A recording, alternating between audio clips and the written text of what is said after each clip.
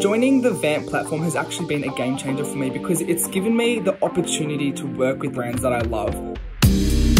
Hello, my name is Nathan Bezzina and I do sketch comedy videos on TikTok.